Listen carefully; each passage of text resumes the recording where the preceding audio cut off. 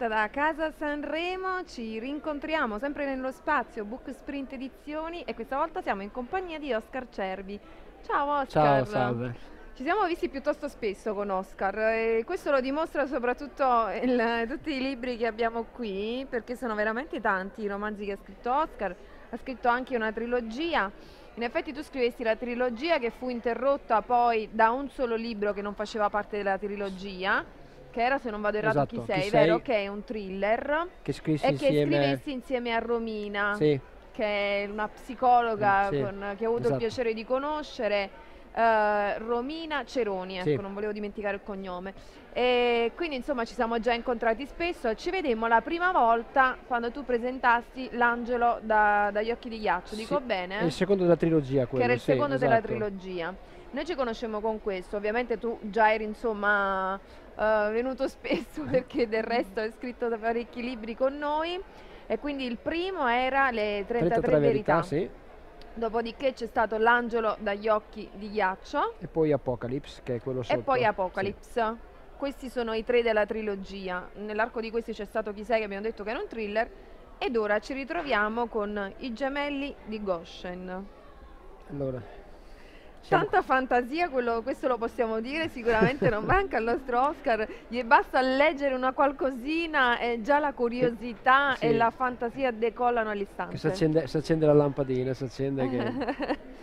No, ehm, come ti ho raccontato Sì. prima, ehm, leggevo qua e là, siccome mi, mi interessa un po' di tutto, leggevo che mh, nessuno ha mai scoperto dove era la tomba di Mosè, quindi si parla de- del periodo egiziano addirittura.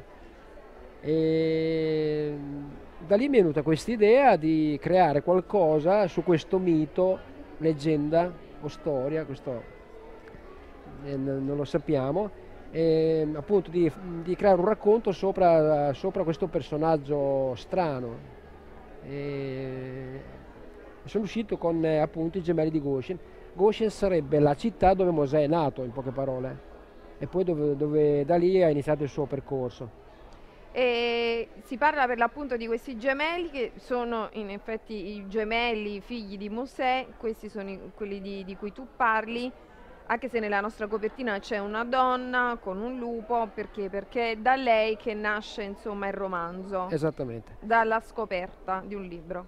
Allora, eh, Mosè aveva questi due figli che non erano gemelli ovviamente.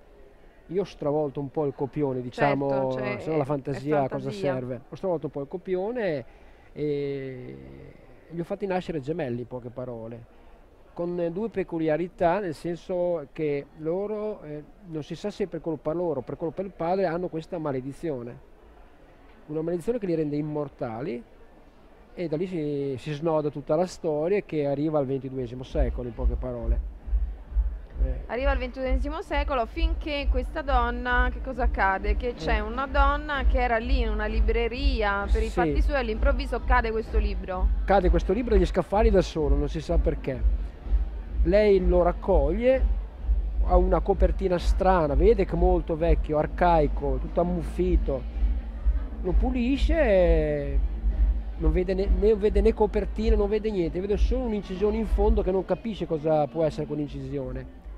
E se lo porta a casa, come tu vai in una libreria, prendi un libro e lo porti a casa per leggere quando comincia a leggere queste cose, questo, questo libro avvengono anche delle situazioni strane, un po' particolari. In poche parole, questo libro cercava lei. Quindi già da lì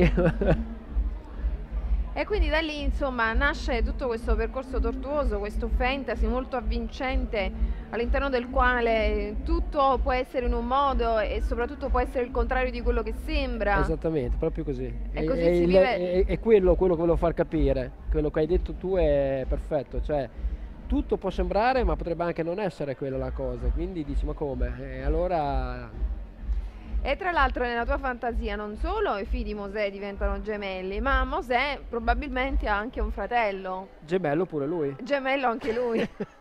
No, ho, gioca- ci ho voluto giocare un po' sopra con questo fatto dei gemelli perché è una cosa molto, molto intrigante. Vogliamo già dire chi dovrebbe essere oppure no? Oppure ce No, lo vogliamo... secondo me non lo diciamo, non lo no, diciamo. no, perché Poi poi- a me aveva eh. divertito tanto il, il gemello, mi, mi piaceva l'idea di quel gemello perché non me lo aspettavo. No, però... e quindi questa ricercatrice, lei è archeologa, e fa questa scoperta col suo amico di infanzia che andavano a scuola assieme, così, che è uno studioso di storia, anche lui storia antica, scoprono cose assurde, veramente, e che prima fanno un bel giretto dove questo monaco eremita scrisse quel libro e poi se ne vanno a Praga e da lì nasce tutta la storia. Praga, eh, ho messo Praga perché ritengo Praga una città magica, secondo il mio punto di vista e secondo anche sui tanti film che fanno o che si legge. Praga è Ponte bellissima. Carlo. Ponte Carlo, esatto. Sono le 30 statue di Ponte Carlo che aiuteranno il personaggio in questione, cioè i due personaggi, a scoprire dove si può nascondere un certo, un certo simbolo, una certa per diciamo appoggiare ad altri due simboli che i due gemelli già hanno in possesso. Anche perché poi Praga è molto gotica, Infatti, per cui si sposa bene Si con il sposa tuo bene, fantasy. Direi sì. che è indov- indovinatissima la location. Ehm, ne approfittiamo adesso per ricordare anche ovviamente i libri precedenti. Prima di tutto ti volevo chiedere, la trilogia adesso è chiusa oppure ci potrebbero essere dei... No, mm, ci potrebbe io- essere un sequel della trilogia perché quando ci incontrammo in passato tu eri- era tutto aperto Sì, no, perché era poteva tutto aper- esserci no, un stavolta la trilogia è chiusa. Perfetto. L'ho chiamata trilogia appunto Ok. perché l'ho chiusa. Ho voluto creare questo libro perché a me piace molto la storia antica, quindi come dicevo prima, specialmente eh, do diciamo una, una puntina di i Celti. Amo la storia celtica, i protocelti 10.000 anni fa, quindi c'è una cosa un po' particolare. Quindi c'è una puntina anche di questo in questo libro e già da lì si può capire cosa, dove, voglio andare a parare.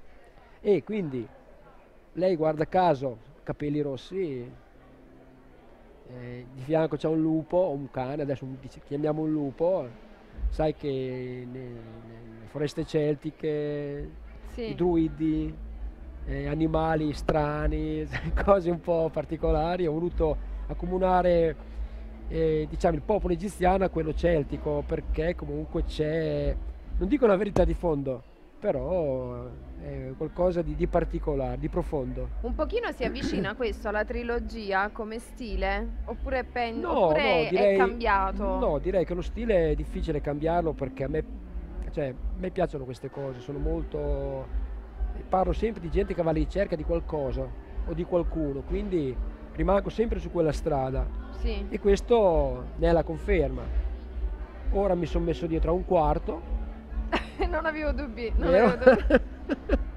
e quindi no, sono Che però non ha a che vedere con No, questo. È sempre un fantasy? sempre un fantasy, mm, una cosa un, un po' diversa stavolta. Un po' Perché? diversa, eh, perché? Io sono troppo curiosa, scusa. Eh, diciamo che il prossimo l'ho buttato sul eh, catastrofico. Caspita. Sì, Un po' un apocalypse now. brava. Perfetto, sì, è proprio così. L'ho buttato sul catastrofico partendo da un asteroide, eh, poi non dico altro. Dai, bene, bene, allora siamo già, siamo già ansiosi di scoprire il prossimo. Nel frattempo ne approfittiamo per ricordare naturalmente i precedenti e poi tu mi dicevi che volevi anche ringraziare persone che comunque hanno collaborato con te alla Sì. lavorazione di questi precedenti. Allora, la prima persona, a parte la famiglia, che ringrazio tantissimo, Mariangela, Francesca e Alessio, che tolgo dei minuti a loro quando scrivo, quindi... E poi a Gianni Ricci, che diciamo è la mia spalla, perché comunque lui mi supporta in tutte le, le situazioni, e Pami- Pamela Gica Mezzia, che sarebbe la mia grafica d'eccezione, che le ultime tre copertine del libro me le ha fatte tutte lei, quindi... E complimenti allora. No, è bravissima. è una- Uh-huh. Lei è una pittrice, è molto brava, fa anche la grafica, è una tatu- tatuatrice, quindi no, è- sono- eh, questo volevo ringraziarli perché sono, sono quelli che veramente mi hanno dato una mano profonda. E allora ricordiamo insieme i precedenti, vai Oscar. Allora, ho cominciato con le 33 verità, e il, il sequel è stato L'angelo degli occhi di ghiacci, ho terminato la trilogia con eh, Apocalypse. Nel frattempo in mezzo c'è anche Chi sei, quello che ho scritto con Romina Ceroni, che è quello thriller psicologico. Poi sempre con la Book Sprint edizione, la quale ringrazio, avevo fatto anche un'antologia che si chiamava Nero Fumo, con voi sempre. E per finire, eh, diciamo, i gemelli di Goshen, che spero che abbia un buon, un buon risultato. Eh anche, beh, anche direi, io so che ci sono anche persone che lo stavano attendendo, per Sì, cui sì. sicuramente, naturalmente ormai dopo aver scritto tanti libri hai, appassionato in tanti e quindi a questo punto non ci resta che leggere anche i gemelli di Goshen. Grazie Oscar a Cervi, a voi, presto. grazie.